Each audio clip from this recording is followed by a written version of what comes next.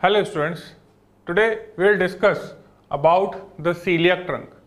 देखिए celiac trunk पे जो क्वेश्चन आता है that is also known as blood supply of foregut ठीक है सो so, आज के इस टॉपिक पे हम बात करेंगे कि जो फोरगट है उसके क्या क्या डेरिवेटिव्स हैं और उनकी क्या ब्लड सप्लाई है ठीक है सो when you will see the celiac trunk before that you should know something about the abdominal aorta देखिए, जो ये एब्डोमिनल ऑर्टा है, ये एब्डोमिनल ऑर्टा एंटर होता है एब्डोमन में वाया ऑर्टिक हाइटस ये ऑर्टिक हाइटस क्या है? Aortic hiatus is a hiatus which is present between the diaphragm and your vertebral column at the level of T twelve ठीक है? इसका वर्टिब्रल लेवल क्या होता है? T12 so the aorta enters the abdomen by the aortic hiatus in the diaphragm at the level of 12th thoracic vertebra. ठीक है? और ये जो aorta है ये टर्मिनेट हो जाता है at the level of L4 ठीक है? सो so, जब भी आप कोई भी blood supply of abdominal organ पढ़ेंगे तो आप ये रियलाइज़ करेंगे कि सारी की सारी ब्रांचेस किसकी हैं? एब्डोमिनल आउटा की हैं। और एब्डोमिनल आउटा किस लेवल पे एंटर हुआ? T12 लेवल पे और किस लेवल पे जाके खत्म हो जाता है? It will terminate at the level of L4 vertebra ठीक है? It lies throughout this course against the vertebral bodies and is easily palpable in the mid line ठीक है? ये जो एब्डोमिनल आउटा है, ये एब्डोमिनल आउटा वर्टिब्रल कॉलम के आगे चिपका हुआ है। ठीक है? एंड आगे से किससे ढका हुआ है? पेरिटोनियम से ढका हुआ है। सो so ये रिट्रोपेरिटोनियल स्ट्रक्चर है, ठीक है? और इसको हम मिडलाइन में पालपेट कर सकते हैं in the thin and lean person ठीक है? और even when you are doing the dissection जब आप डिसेक्शन में अगर ग्रेटर सैक को खाली कर दोगे, अगर आप स्मॉल इंटेस्टाइन को निकाल दोगे, अगर आप स्टमक को हटा दोगे तो posteriorly you can feel the lumen of abdominal aorta there are three anterior unpaired branches देखिए आज हम बात कर रहे हैं सीलियक ट्रंक की। सीलियक ट्रंक क्या है? अनपेयर्ड ब्रांच है। लेकिन जब हम एब्डोमिनल आउटा को देखेंगे तो एब्डोमिनल आउटा पे कई बार आपके पास क्वेश्चन आता है कि उसकी वेंट्रल सरफेस से कौन सी ब्रांचेज आ रही हैं? उसकी लैटरल सरफेस से कौन सी ब्रांचेज आ रही हैं? तो यहाँ पे जो हम ब्रांच पढ़ रहे हैं this is the branch which is arising from its anterior surface और वेंट्रल सरफेस ठीक है? और ये क्या है? अनपेयर्ड यानी ना तो इसकी कोई राइट right है, ना कोई लेफ़्ट डिवीज़न है। It is a single branch which is present in the mid line coming from the anterior aspect of abdominal aorta ऐसी आप तीन ब्रांचेस पढ़ेंगे। पहली है सीलियक एक्सिस और सीलियक ट्रंक और सीलियक आर्टरी दूसरी है सुपीरियर मीजेंट्रिक आर्टरी और तीसरी है इंफीरियर मीजेंट्रिक आर्टरी ठीक है? So it is as simple as that कि जब आप एब्डोमिनल आउटा को देख रहे हो तो एब्डोमिनल आउटा से तीन अनपेयर्ड आर्टरीज के नाम बताइए। Answer is coeliac trunk superior mesenteric and inferior mesenteric artery so now will start with the coeliac artery और सीलियक ट्रंक और सीलियक एक्सिस एक तो इसकी spelling now sometimes you have this C O E L I A C और sometimes you have C E L I A C now the difference is of this O now these both are correct one is your american english and another is as per the british english ठीक है so, so celiac artery या celiac trunk क्या है it is a principal vessel that supply the derivatives of embryonic foregut this is the first question for your viva कि जो foregut है उसकी blood supply कहाँ से आती है उसकी ब्लड सप्लाई कहाँ से आती है सीलियक आर्टरी तो अगर कोई आपसे पूछे कि फोरगट डेरिवेटिव्स की ब्लड सप्लाई का सोर्स क्या है आंसर इज़ सीलियक आर्टरी ठीक है? ये सीलियक आर्टरी फोरगट के कौन कौन से डेरिवेटिव्स को सप्लाई करती है? तो अब यहाँ पे आ गया आपका एम्ब्रोलॉजी कि आपको ये पता होना चाहिए कि फोरगट से क्या क्या बनता है। फोरगट से बनता है हमारा लोअर इसोफेगस तो पूरा बनता है, लेकिन सीलियक आर्टरी कौन से पार्ट को सप्लाई कर रही है? लोअर इसोफेगस को। ठीक है? इसोफेगस पूरा किससे बना? फोरगट से बना। लेकिन उसका जो लोअर पार्ट है, वो सीलियक आर्टरी से सप्लाई हो रहा है। ठीक है? Plus your stomach your upper part of the duodenum why not the whole duodenum because when you will see the formation of the duodenum duodenum is formed by the foregut as well as midgut and today we are talking about the formation or the area of your foregut supplied by coeliac artery and coeliac artery जो है ना ये सिर्फ़ किसको supply कर रही है foregut को और फोरगट कहाँ तक है हम देखेंगे कि जो ड्यूडिनम होता है इस ड्यूडिनम में when you will see the duodenum duodenum is having the four part, first part, second part, third part, and fourth part. तो ये जो सेकंड पार्ट है सेकंड पार्ट में there is a entry of common bile duct there is a entry of common bile duct इस common bile duct की entry के levels के ऊपर क्या है फोरगट इस एंट्री के नीचे क्या है मिडगट सो फोरगट और मिडगट का जंक्शन हम कैसे डिसाइड करेंगे? By this entry of your CBD और कॉमन बाइल डक्ट तो जिस पॉइंट पे ड्यूडिनम में सीबीडी एंटर हो रहा है, वो जंक्शन है किसका? फोरगट का और मिडगट का. और हम बात कर रहे हैं किसकी? सीलियक आर्टरी की. क्या सीलियक आर्टरी मिडगट को सप्लाई कर रही है? नहीं. सीलियक आर्टरी ड्यूडिनम के उस पार्ट को सप्लाई कर रही है जो कि ओपनिंग ऑफ़ सीबीडी से पहले है. ठीक है? Then liver spleen and pancreas why these three organ because liver and spleen, they are, arises from the your foregut, है ना? They are known as derivatives of foregut जब आप डेवलपमेंट ऑफ़ लिवर पढ़ते हैं तो हिपैटिक बट कहाँ से arise होती है? फोरगट से। ठीक है? इसी तरह से जब आप पैंक्रियाज पढ़ते हैं तो मेजर पोर्शन ऑफ़ पैंक्रियाज जिस बड से डेवलप हुआ, वो बड कहाँ से अराइज हुई? फोरगट से। तो major portion of pancreas not the whole pancreas because इसका कुछ पोर्शन किससे डेवलप होता है? दूसरी जो डॉर्सल पैंक्रेटिक बर्ड है तो जो दोनों पैंक्रेटिक बर्ड हैं, वो मिलके क्या बनाती है? पैंक्रेटिक ऑर्गन बनाती है। तो इसका मेजर पोर्शन सप्लाई होता है सीलियक आर्टरी से and it also contributed by your superior mesenteric artery that is the artery of your midgut ठीक है? तो एक चीज़ आपको यहाँ समझ लेनी है कि जब भी आप सीलियक आर्टरी या सीलियक ट्रंक से सप्लाई होने वाले स्ट्रक्चर्स पढ़ रहे हैं आपको सिंपल वर्ड में याद रखना है। All the derivatives of foregut जो स्टार्ट होगा लोअर पार्ट ऑफ़ इसोफेगस से, और खत्म हो जाएगा सेकेंड पार्ट ऑफ़ ड्योडिनम जहाँ पे हमारे पास किसकी ओपनिंग है? कॉमन बाइल डक्ट की ओपनिंग होती है। ठीक है?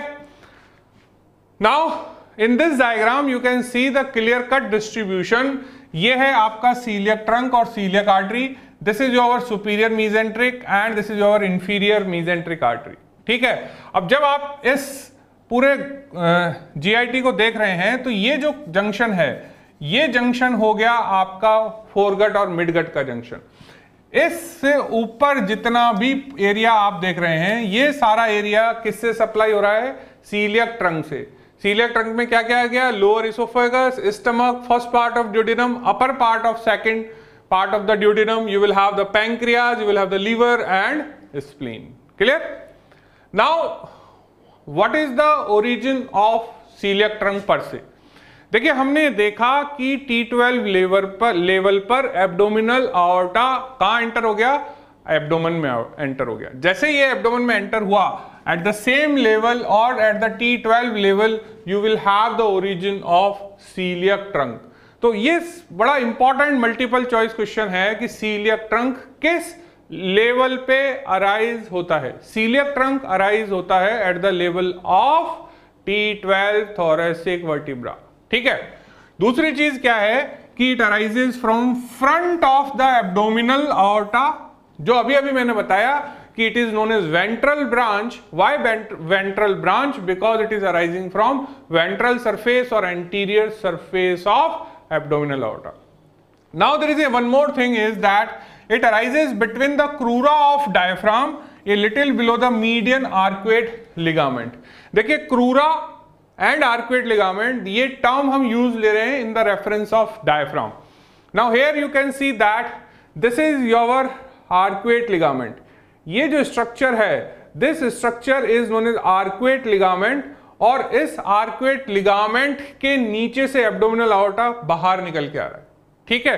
और साइड में ये जो स्ट्रक्चर्स हैं they are known as crura they are known as crura तो आर्कुएट लिगामेंट और उसके कंटिन्यूएशन में क्या है? क्रूरा ठीक है? So if you see here again what you are able to appreciate कि यहाँ पे हमें दो चीज़ें याद रखनी है। पहला तो क्या है? आर्कुएट लिगामेंट तो कहा है मीडियन आर्कुएट लिगामेंट ये रहा। ठीक है? इस मीडियन आर्कुएट लिगामेंट के साथ में दोनों साइड ये क्या है?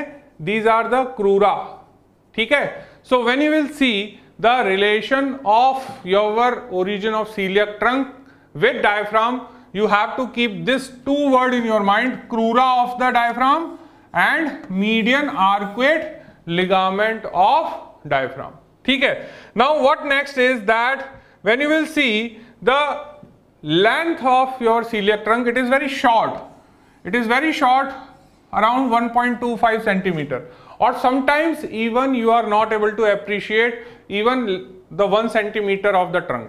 ठीक है? तो बहुत छोटा सा ट्रंक होता है और कई बार नज़र भी नहीं आता है।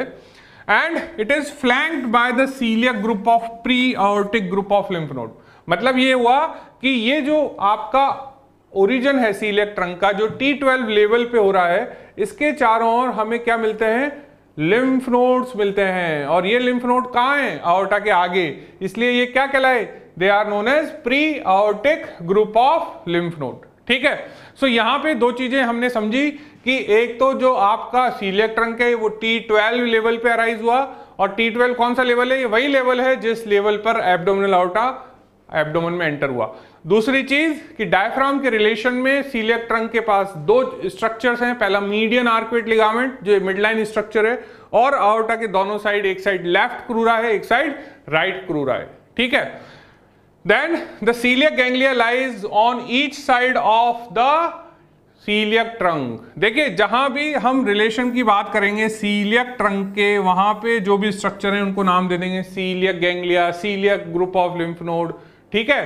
सो सीलियक गैंग्लिया क्या हुए? वो गैंग्लिया जो कि सीलियक ट्रंक के चारों ओर होते हैं and these ganglias are actually giving the autonomic supply to the organ ठीक है? So the coeliac ganglia is lies one on each side and this sympathetic nerves.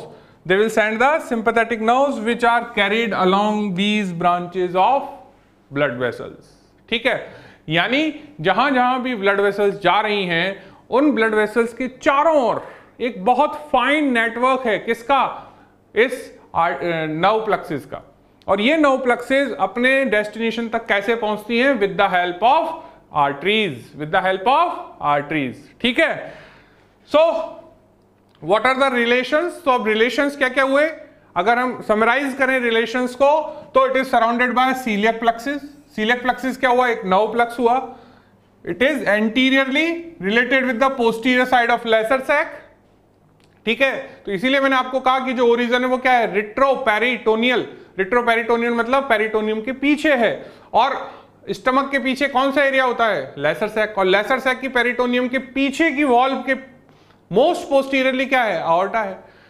Right right side में क्या हो गया? Right crus of diaphragm and right coeliac ganglia left side में क्या हो गया? Left crus of diaphragm left coeliac ganglia और नीचे की तरफ़ क्या है? इंफीरियरली बॉडी ऑफ़ पैंक्रियाज मतलब क्या हुआ कि अगर ये एब्डोमिनल आवर्टा है और इस एब्डोमिनल आवर्टा से यहाँ पे सपोज़ ये सीलियक ट्रंक है। और अगर मैं साइड से देख रहा हूँ if I will take the section of my body and if I will see from the side so ये मेरा एब्डोमिनल आउटा है। ये सीलियक ट्रंक है at the level of T twelve तो इस सीलियक ट्रंक के नीचे यहाँ पे कौन सा ऑर्गन मिलेगा? Answer is pancreas now this is a image based question which has been asked so many time in multiple choice question कि यहाँ पे तो ये लेवल क्या हुआ है? सीलियक ट्रंक क्वेश्चन है कि इसके नीचे ये वाला ऑर्गन क्या है? तो ये ऑर्गन क्या होगा? Pancreas. That's why it is written here that inferiorly it is related with the body of pancreas. ठीक है? सो so, यहाँ पे अब आप क्या देखोगे? अब आप ये देख रहे हो कि ये क्या है? वर्टिब्रल कॉलम है। ठीक है? ये आपका L1 है ये L2 है ये L3 है। ठीक है? L1 के ऊपर कौन सा होगा? L1 के ऊपर ये क्या है? What which one is this this is T12 ठीक है? और ये जो आप देख रहे हो, ये स्ट्रक्चर क्या है? Median arcuate ligament what is this median arcuate ligament इस मीडियन आर्क्वेट लिगामेंट के दोनों साइड में ये जो एक्सटेंशन है, ये क्या है? These are your crura this is left crura this is the right crura ठीक है? सो so, ये है मीडियन आर्क्वेट लिगामेंट ये दोनों क्या है? क्रूरा और यहाँ पे एब्डोमिनल आउटा आएगा। और जैसे ही एब्डोमिनल आउटा आएगा इस लेवल पे T12 के लेवल पे और you can say between the T12 L1 between the T twelve L one और at the level of T twelve आपको क्या ओरिजिन होता हुआ नज़र आएगा? Answer is your coeliac trunk ठीक है? सो so, वो कैसे दिखेगा? So for that you can see here this is what you can appreciate ठीक है? सो so, यहाँ पे अब जब हमने ओवरलेपिंग करी स्ट्रक्चर्स की तो यू कैन सी दैट ये जो आपका मीडियन आर्कुएट लिगामेंट है, इस मीडियन आर्कुएट लिगामेंट के नीचे यहाँ पे ये सर्कल दिख रहा है and this is your origin of coeliac trunk from abdominal aorta ठीक है?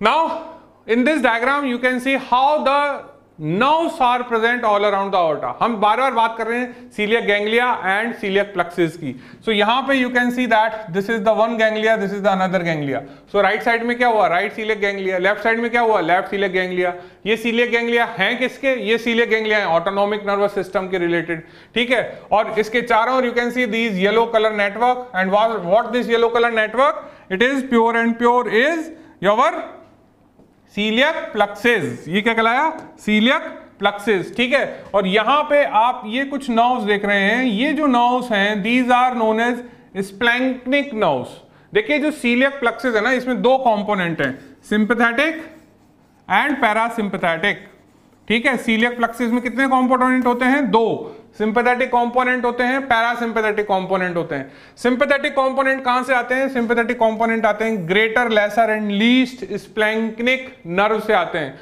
और जो पैरासिम्पैथेटिक कंपोनेंट है, वो इसोफेगस के साथ जो वेगस नर्व्स आती हैं, इन वेगस नर्व के थ्रू आ रहे हैं। किसके थ्रू आ रहे हैं? वेगस नर्व के थ्रू तो जो वेगस नर्व इसोफेगस के साथ नीचे उतर रही हैं, वो क्या लेके आ रही हैं? पैरासिम्पैथेटिक कंपोनेंट और जो greater lesser least splanchnic nerve है, वो क्या लेके आ रही हैं? सिंपैथेटिक कंपोनेंट और ये सब कहाँ पे आ गए? ये यहाँ पे आ गए और इन्होंने जो प्लक्सिस बना दिया, उस प्लक्सिस का नाम क्या दे दिया हमने? सीलियक प्लक्सिस ठीक है? सो so, यहाँ पे you can see the detail structure कि ये जो आपका सीलियक प्लक्सिस है इसमें ये जो स्ट्रक्चर्स आ रही हैं ये हैं स्प्लैंकनिक नर्व्स और जो आपका वेगस के थ्रू आ रहा है ये वाला पार्ट ये वाला पार्ट क्या है? Your parasympathetic with the help of vagus ठीक है?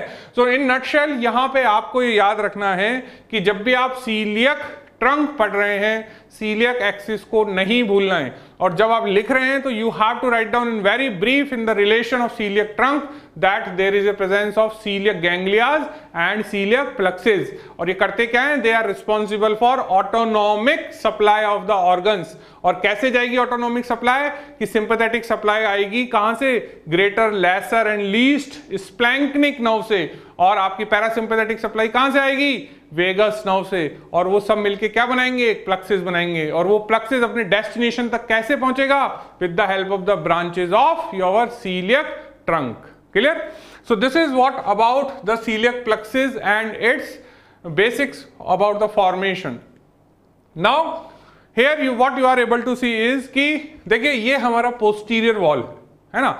इस पोस्टीरियर वॉल के फ्रेमवर्क पे आप क्या देख रहे हो कि ये मिडलाइन में यहाँ पे ये मीडियन आर्कुएट लिगामेंट है, जिसके नीचे आपको एब्डोमिनल आवर्टा दिख रहा है और एब्डोमिनल आवर्टा से आता हुआ ये क्या नज़र आ रहा है? हमें हमारा सीलियक ट्रंक नज़र आ रहा है, ठीक है? अब क्या है कि ये जो स्ट्रक्चर है, ये स्ट्रक्चर क्या है? रिट्रोपेरिटोनियल है, क्योंकि इसके आगे क्या है? पेरिटोनियम है। तो ये देखिए पेरिटोनियम आ गया। जब आप इस स्ट्रक्चर को देखेंगे when you will do the dissection आपने डिसेक्शन किया, आपने एंट्रेबडोम वॉल हटाया। एंट्रेबडोम वॉल हटाते ही आप कहाँ एंटर हो गए ग्रेटर सैक में एंटर हो गए ग्रेटर सैक में एंटर होने के बाद आपने मिजेंट्री कट करके स्मॉल इंटेस्टाइन साइड में कर दिया। आपने कोलोन हटा दिया। बट स्टिल हमें क्या नहीं दिख रहा? आवर्टा नहीं दिख रहा। और क्या नहीं दिख रहा? हमें सीलियक ट्रंक नहीं दिख रहा। क्यों नहीं दिख रहा? क्योंकि ये क्या है? रिट्रोपेरिटोनियल ऑर्गन है। ठीक है? दूसरी चीज़ क्या है कि अगर आपको सीलियक ट्रंक देखना है तो अब आपको ये वाला जो एरिया है, इस एरिया को क्लियर करना पड़ेगा। है ना?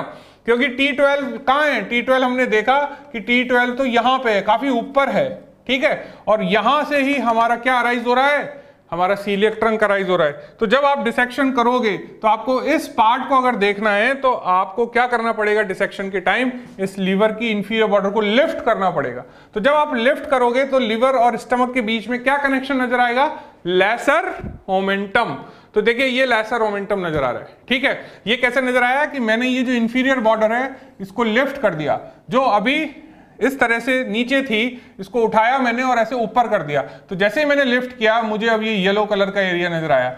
ये येलो कलर एरिया क्या है? This area is your lesser omentum अब मुझे यहाँ पे डिसेक्ट करना पड़ेगा। In this area I have to do the dissection and then I am able to reach to the your abdominal aorta ठीक है? सो so, ये चीज़ आपको याद रखनी है। When you are doing the dissection you have to check this part that is your lesser omentum and then if you will dissect it on this posterior side, पहले आप कहाँ एंटर होगे इसको काटते ही लेसर सैक में। और lesser sac की posterior boundary को जब आप क्लीन करोगे तो आपको पीछे क्या नज़र आएगा? एब्डोमिनल ऑर्टा नज़र आएगा। ठीक है? So what are the branches at the upper part of the pancreas the trunk divides into the three branches कितनी ब्रांचेस थ्री ब्रांचेस और कहाँ पे हैं ये three branches these branches are also behind the peritoneum ठीक है? But obviously जब abdominal aorta retroperitoneal है तो सीलियक ट्रंक भी रिट्रोपेरिटोनियल है तो सीलियक ट्रंक से निकलने वाली ब्रांचेस भी क्या है? रिट्रोपेरिटोनियल ही है. So they are behind the peritoneum और कौन सी पेरिटोनियम है? Posterior wall of lesser sac ठीक है? So what are the three named branches one is the left gastric artery common hepatic artery and splenic artery बच्चों, ये आपको बहुत सबसे ज़्यादा पूछे जाने वाला सवाल है और ये बड़ा इजी सा कंसेप्ट है कि भैया ब्रांचेज ऑफ़ सीलियक ट्रंक क्या होती है? सो सीलियक ट्रंक की तीन ब्रांचेज हैं। एक हो गई आपकी लेफ़्ट गैस्ट्रिक दूसरी कॉमन हिपैटिक तीसरी स्प्लेनिक ठीक है?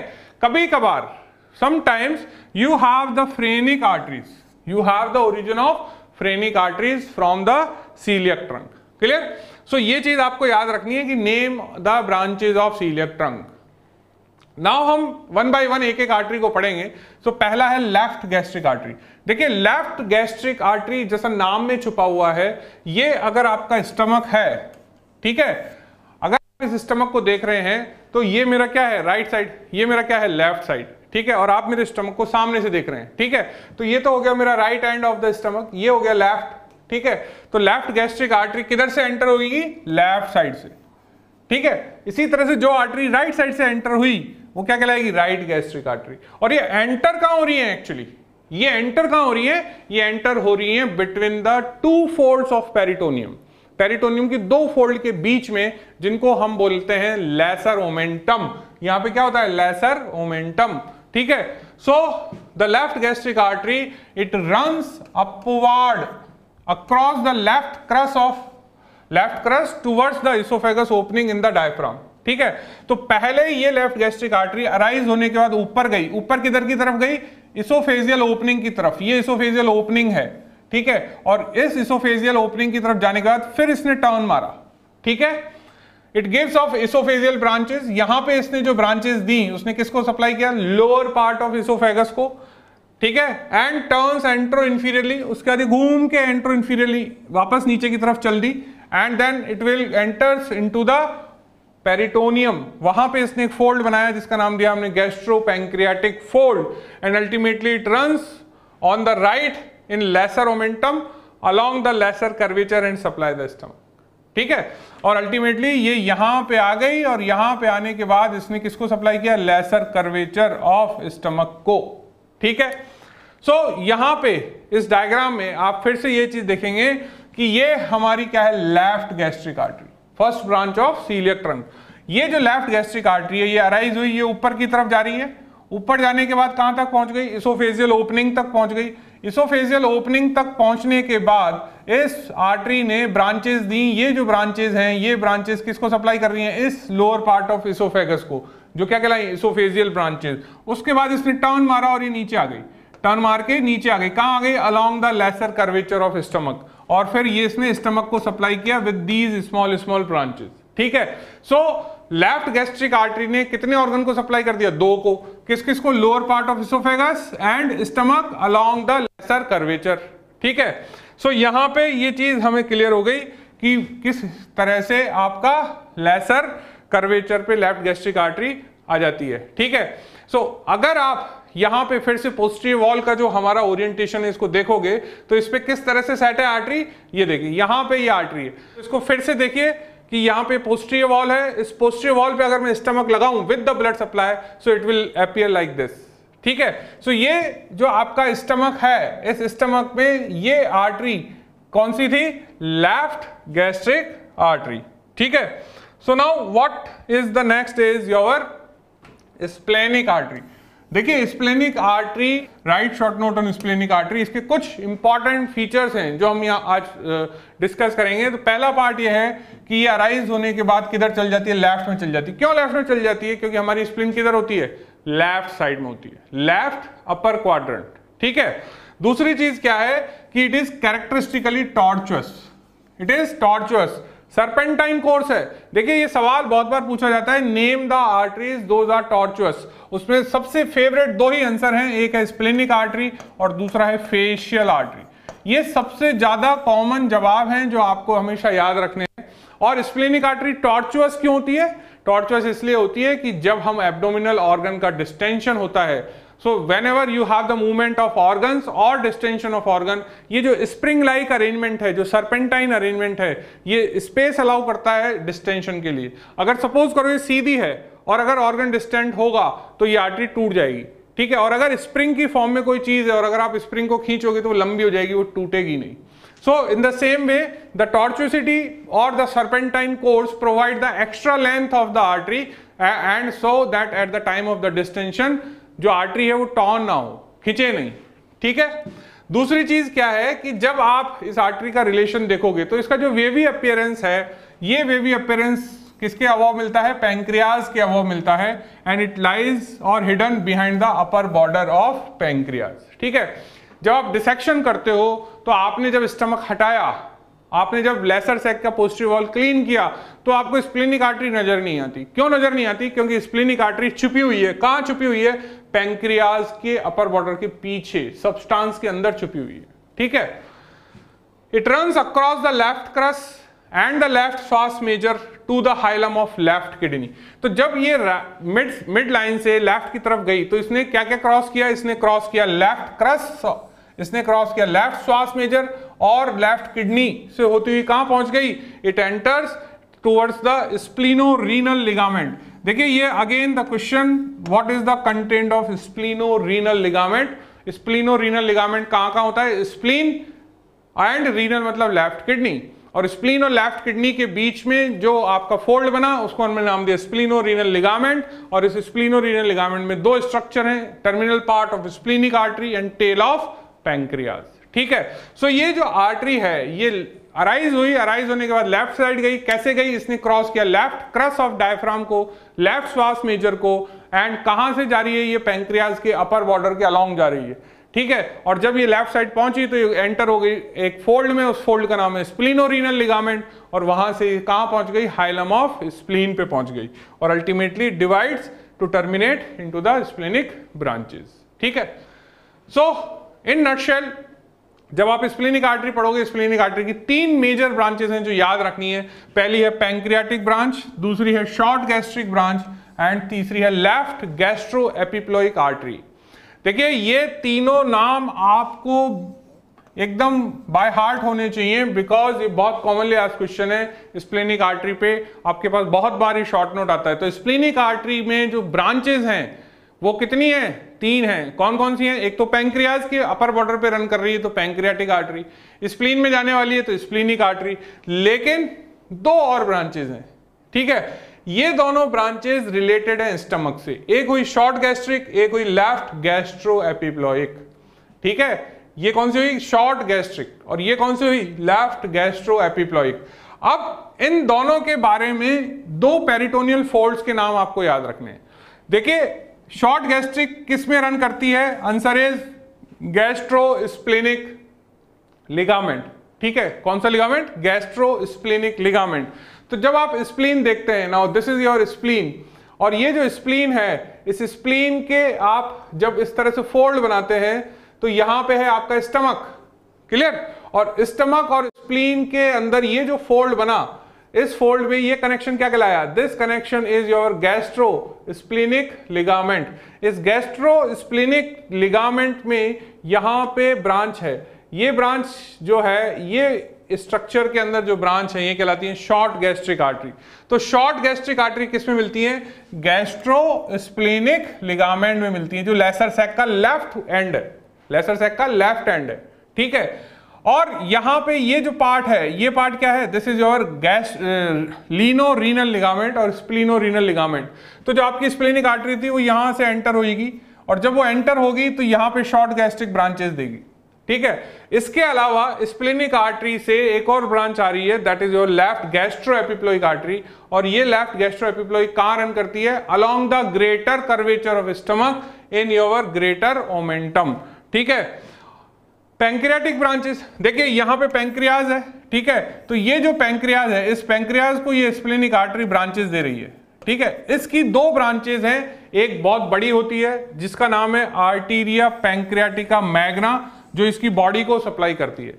एक आर्टरी है जो इसकी पर्टिकुलर टेल को सप्लाई करती है and this named artery is known as arteria caudae pancreatis, arteria caudae pancreatis. Caudae मतलब दिस कॉडा कॉडा मतलब हो गया something pertaining to the tail clear तो जब आप स्प्लिनिक आर्टरी पढ़ रहे हो तो यहाँ पे तीन ब्रांचेस के नाम आपको याद रखने हैं। पैंक्रियाज को सप्लाई करना है short gastric artery and left gastro epiploic please keep this thing in mind the word is left clear now here you can see all the branches now this is the trunk कौन सा trunk coeliac trunk coeliac trunk से ये artery arise हुई। You can see the serpentine course ये serpentine course किसका हुआ? Splenic artery का। इस स्प्लेनिक आर्टरी से ये जो ब्रांचेस गई, ये क्या कहलाई? पैंक्रियाटिक ब्रांचेस ये क्या कहलाई? पैंक्रियाटिक ब्रांचेस यहाँ पे जो ये आपका स्प्लेनिक आर्टरी टर्मिनेट हो गया। टर्मिनेट होने से पहले इसने ब्रांच दे दी।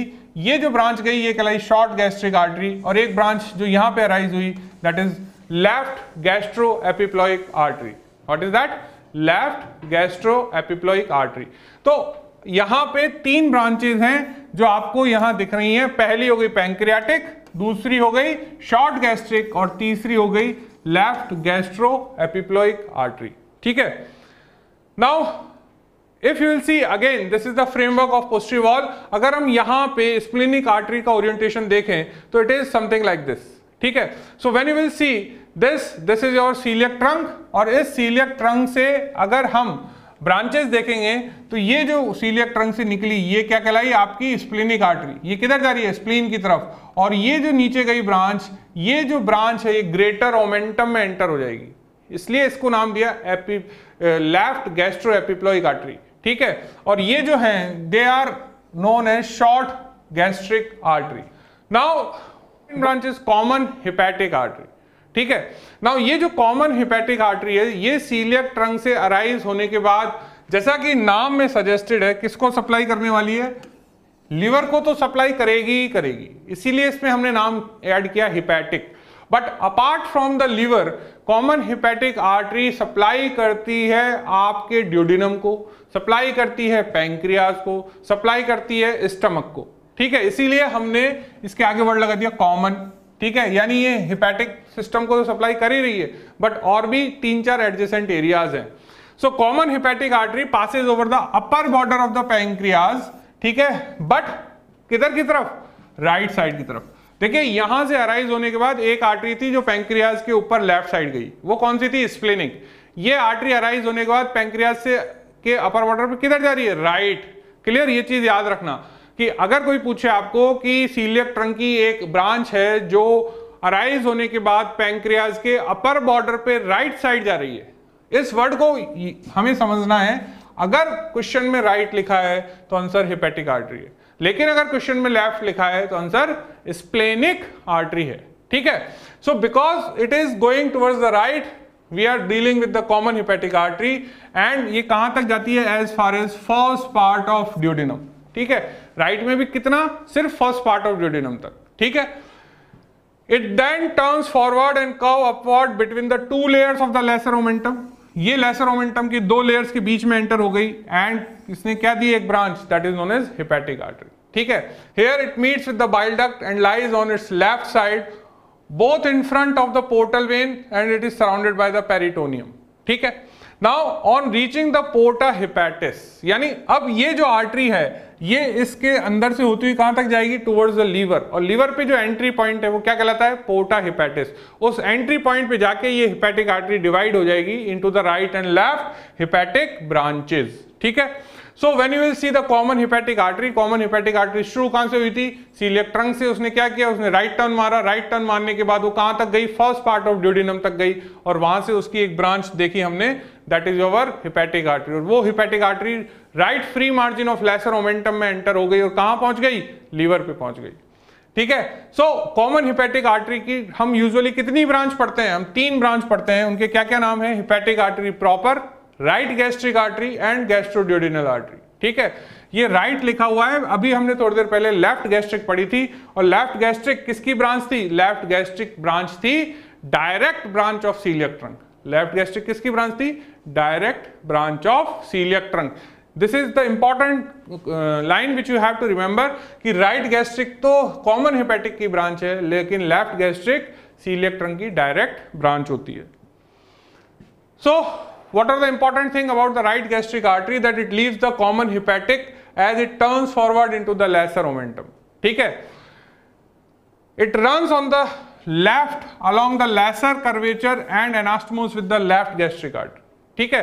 सो so, टर्न अंदर जाने के बाद लेफ़्ट साइड जा रही है। क्यों लेफ़्ट साइड जा रही है? क्योंकि इसको लेफ़्ट गैस्ट्रिक आर्टरी से एनास्टमोस करना है। सो so, यहाँ पे आप अगर इस डायग्राम को देख रहे हैं तो इस डायग्राम में यहाँ पे ये हमारा सीलियक ट्रंक है। इस सीलियक ट्रंक से ये अराइज हो रही है लेफ़्ट गैस्ट्रिक आर्टरी ये लेफ़्ट गैस्ट्रिक आर्टरी के साथ यहाँ से आ रही है ये राइट गैस्ट्रिक आर्टरी ये राइट गैस्ट्रिक इस लेफ़्ट गैस्ट्रिक के साथ इस लेसर कर्वेचर ऑफ़ स्टमक को सप्लाई कर रही है। ठीक है? So lesser curvature of stomach की सप्लाई क्या है? दो ब्रांचेज हैं left gastric artery and right gastric artery ठीक है? Then you have the gastroduodenal artery gastroduodenal artery passes down behind the first part of duodenum now ये चीज़ बड़ी इंपॉर्टेंट हो गई कि ये बिहाइंड है, ये आगे नहीं है। Gastroduodenal artery never present anteriorly अगर हमें गैस्ट्रोड्यूडिनल आर्टरी डिसेक्शन में देखनी है तो हमें ये जो फ़र्स्ट पार्ट ऑफ़ ड्यूडिनम है, इसको लिफ्ट करना पड़ेगा। ठीक है?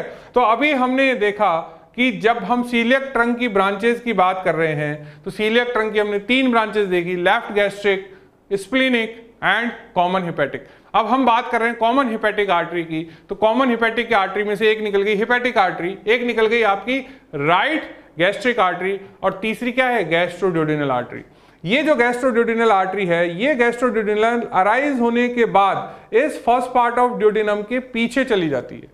क्लियर सो ये आगे नज़र नहीं आएगी।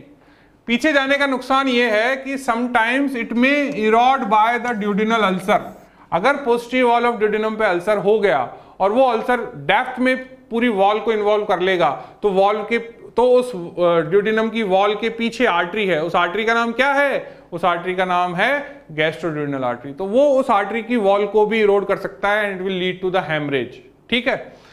At the lower border of the duodenum इस ड्यूडिनम के लोअर बॉर्डर पे, यहाँ पे आने के बाद, जब ये गैस्ट्रोड्यूडिनल पीछे से आ रही है तो लोअर बॉर्डर पे आने के बाद ये डिवाइड हो जाती है दो ब्रांचेस में, ठीक है? और इनका नाम क्या है? Right gastroepiploic artery and superior pancreaticoduodenal artery. Right gastroepiploic artery.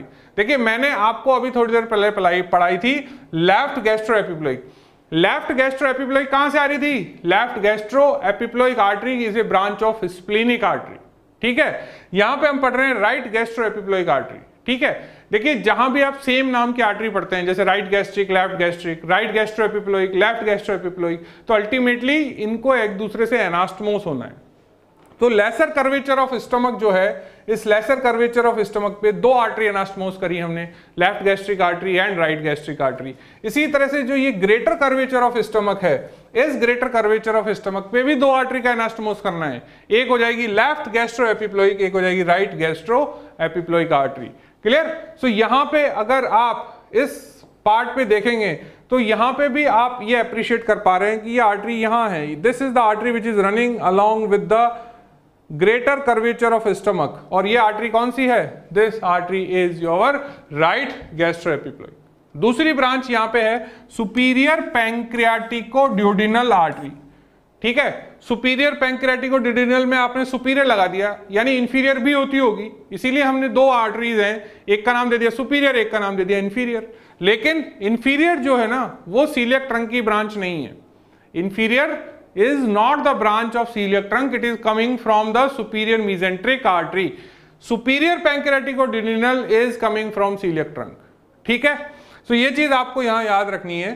So what is about the right gastroepiploic right gastroepiploic run along the greater curvature and it anastomose with the left gastroepiploic art ठीक है? तो ये एक पहला सवाल हो गया आपका कि ग्रेटर कर्वेचर ऑफ़ स्टमक पे कौन सी कौन सी आर्टरी मिलती है। Answer is right and left gastroepiploic artery clear right gastroepiploic कहाँ से आ रही है? नीचे से आ रही है। किसकी ब्रांच है? गैस्ट्रोड्यूडिनल की। लेफ़्ट गैस्ट्रोएपिप्लोइक ऊपर से आ रही है। वो किसकी ब्रांच है? स्प्लेनिक आर्टरी की।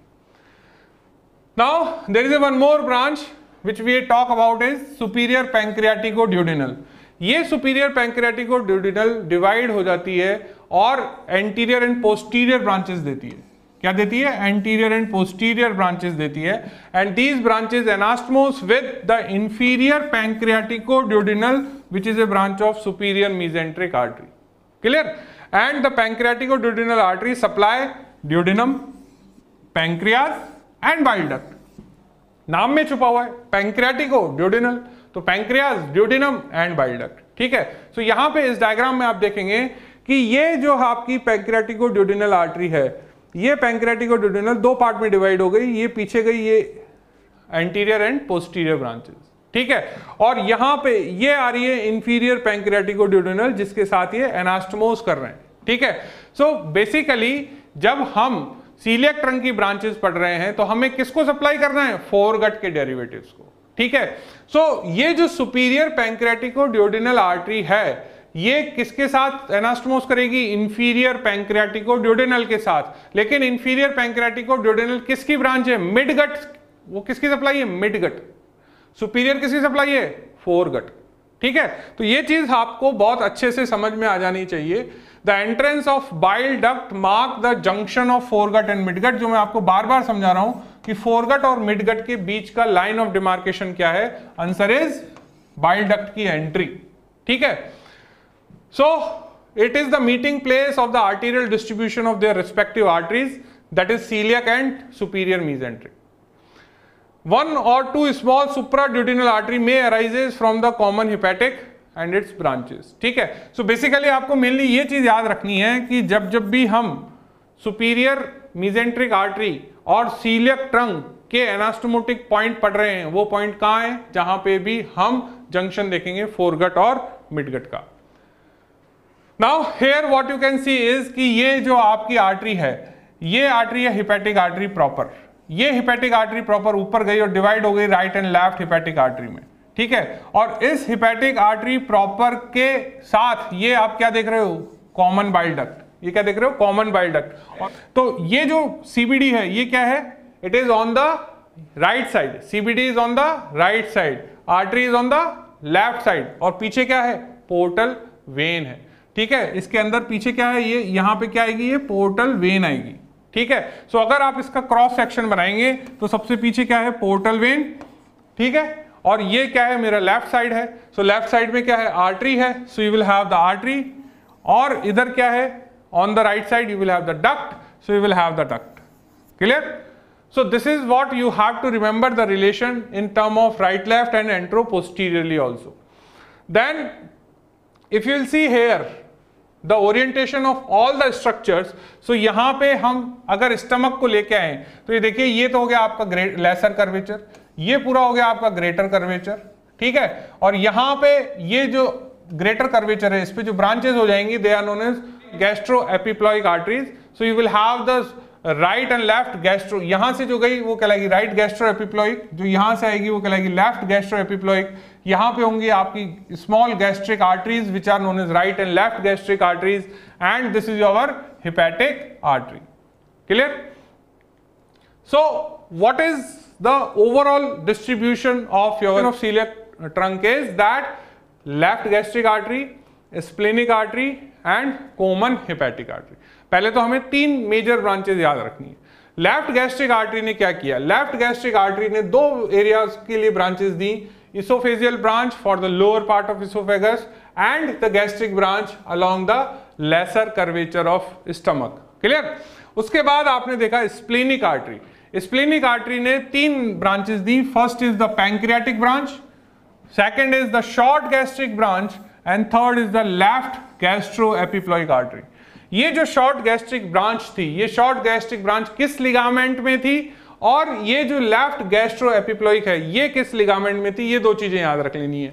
तो आपका जो लेफ़्ट गैस्ट्रो एपिप्लोइक है, ये तो है ग्रेटर ओमेंटम में that is along the greater curvature of stomach and the short short gastric artery है, ये है किसके अंदर? Connection of spleen and stomach that is known as gastrosplenic ligament when you will see the hepatic common hepatic इस common hepatic ने कौन कौन सी branches the? Hepatic artery gastroduodenal artery and right gastric artery. कौन कौन सी branches दी? इसने दी एक तो आपकी hepatic artery gastroduodenal artery and right gastric artery. ये जो राइट गैस्ट्रिक आर्टरी है, ये भी लेसर कर्वेचर के अलोंग रन करेगी और लेफ़्ट गैस्ट्रिक आर्टरी से एनास्टमोस हो जाएगी। जबकि जो हिपैटिक आर्टरी है, ये free margin of your lesser omentum में रन करेगी and it will reach to the liver then you will have the gastroduodenal artery अभी मैंने बताया कि ये गैस्ट्रोड्यूडिनल आर्टरी अराइज होने के बाद फ़र्स्ट पार्ट ऑफ़ ड्यूडिनम के पीछे नज़र आती है. It is behind the first part of duodenum इस बात को आप बहुत अच्छे से याद रखें. And then it ultimately gives the two branches right gastro epiploic and superior pancreatico duodenal ये राइट गैस्ट्रो एपिप्लोइक वापस से ग्रेटर कर्वेचर पे रन करेगी and it will anastomose with the branch of left gastro epiploic while the superior pancreatico-duodenal artery कहाँ चली गई? It will go below the your first part of duodenum जहाँ पे आपका पैंक्रियाज है। ठीक है? और वहाँ पे ये एनास्टमोस हो जाएगी इंफीरियर पैंक्रियाटिको ड्यूडिनल आर्टरी के साथ। Clear so this is what we have learn today in the celiac trunk कि सीलियक ट्रंक किसकी ब्रांच होती है? सीलियक ट्रंक किस किस एरिया को सप्लाई करती है? How the three major branches of celiac trunk that means the left gastric splenic artery and common hepatic artery supplies the different part and what are the sub branches of these three major arteries. So this is all about today's lecture. Thank you.